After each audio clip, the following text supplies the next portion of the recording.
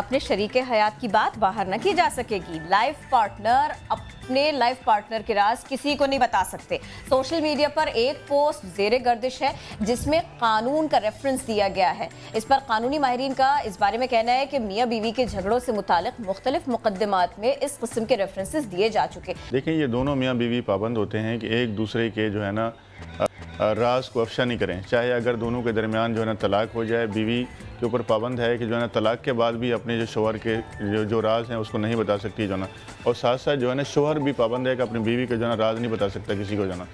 تو اس صورت میں اگر یہ بات پتہ چل جائے کہ ایسا کچھ ہوا ہے، تو اگر بیوی کی کو بدنامی کرتا ہے شوہر، تو وہ جا کے اپنے تھانے میں کمپلین کر سکتی ہے۔ کیونکہ دیکھیں، جب کسی شخص کی بدنامی کرتے ہیں، اس کے خاندان کے اندر، اس کے رشتہ داروں کے اندر اس کے مالے کے اندر تو اس کی جو ہے نا، اس کو ذہنی کوفت ہوتی ہے، اس کی خاندان میں بدنامی ہوتی ہے، وہ شخص کسی کو منہ دکھانے قابل نہیں رہتا۔